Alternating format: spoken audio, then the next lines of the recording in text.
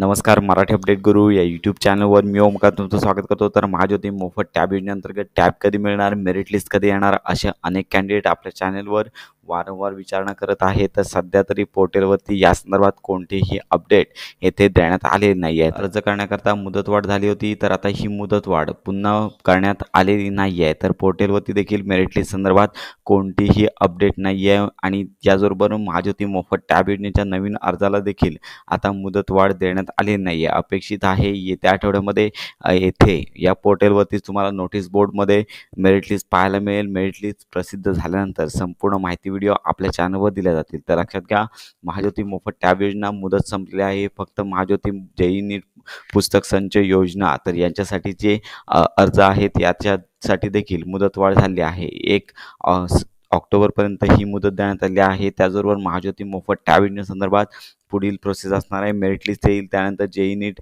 त्यानंतर M H C E T या संदर्भात कुठलं कोर्स हवं याची माहितीसाठीची लिंक येईल. त्यानंतर तुम्हाला व्हॉट्सअप ग्रुप जॉईन करायला सांगितलं जाईल आणि तसेच येथे पाहू शकता की सिम कार्ड सिलेक्शन देखील यामध्ये केलं जाणार आहे. तर अशा येत्या काही दिवसामध्ये हे शेड्यूल असेल जोपर्यंत अद्याप तरी मुदत वाढलेली नाही आहे जर मुदत वाढली तर ही प्रोसेस पुढे जाणार आहे. जर मुदत वाढली नाही तर येत्या काही दिवसामध्ये सर्चची मेरिट लिस्ट या पोर्टलवरती नोटीस बोर्डमध्ये तुम्हाला पाहता येतील तर अशा प्रकारे लिस्ट प्रसिद्ध झाल्यानंतर संपूर्ण खात्रीशीर माहिती आपल्या चॅनलवर दिल्या जातील. त्यामुळे ही महत्त्वाची माहिती इतरांपर्यंत नक्की शेअर करा.